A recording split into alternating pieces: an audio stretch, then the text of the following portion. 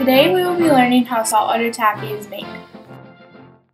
We will need 2 cups of sugar, 2 tablespoons of cornstarch, 1 cup of light corn syrup, 2 teaspoons of glycerin, 3 fourths cup water, 2 tablespoons of butter, 1 teaspoon of salt, 1 teaspoon of flavoring, and 3 or 4 drops of food coloring. A large pot and wooden spoon, a bowl of warm water, and a basting brush. A candy thermometer, a measuring cup, a pair of scissors, ham, measuring spoons, plastic food wrap, and a cookie sheet. First, mix the sugar and the cornstarch into the pot.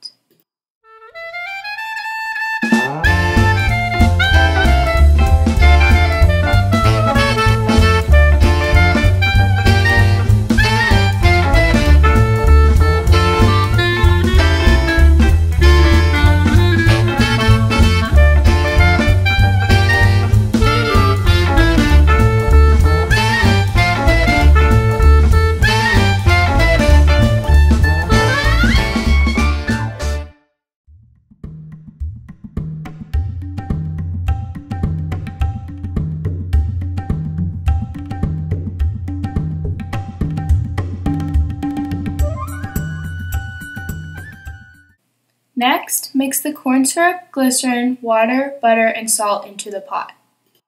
Each ingredient has a different purpose.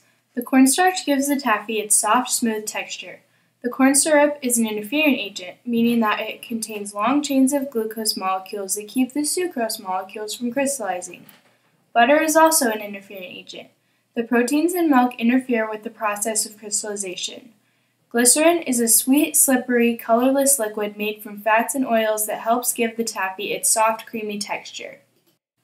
Corn syrup, or glucose monohydrate, has the chemical formula C6H14O7.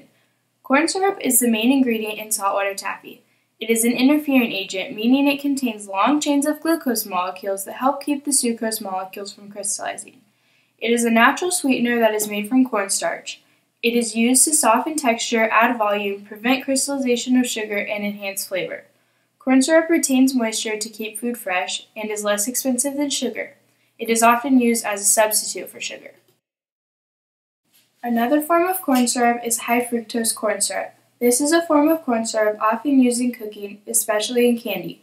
It is cheaper than sugar and is often used as a substitute. It is made from corn syrup by changing a large amount of its glucose into fructose using an enzyme called D-xylose isomerase. It is sweeter than normal corn syrup because it contains higher level of fructose. It is also more soluble. After all the ingredients are mixed in, bring the pot to the stove and place it over medium heat. Each ingredient has a different purpose. The cornstarch gives the taffy its soft, smooth texture. The corn syrup is an interfering agent, meaning that it contains long chains of glucose molecules that keep the sucrose molecules from crystallizing.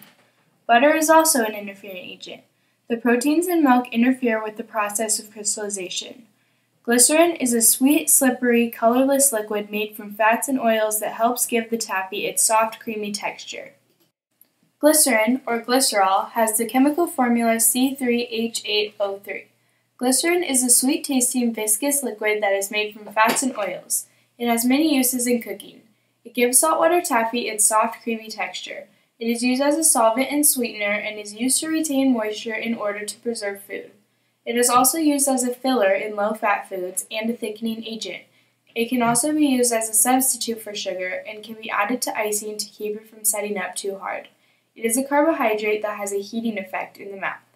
It is a solvent for both flavors and food coloring. It is also used in making mono and diglycerides, which are food stabilizers. Glycerin is produced when butter goes bad. It is about 60% as sweet as sucrose.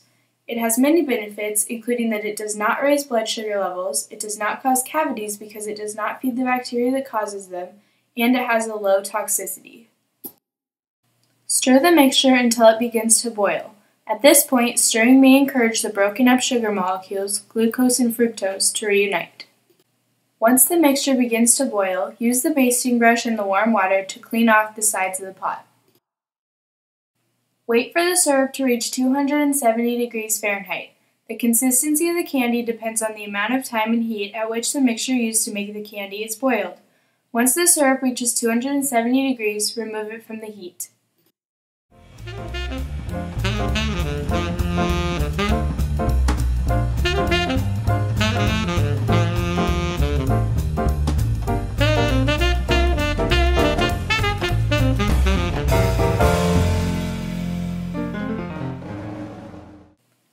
This time, you can grease the cookie sheet to prepare for the candy.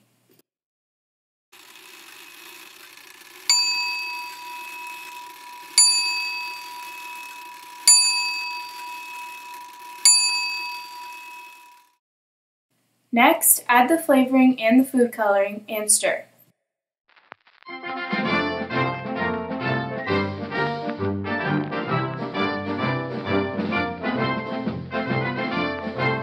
Once this is done, pour the candy syrup onto the cookie sheet. And now you're done! You have made saltwater taffy.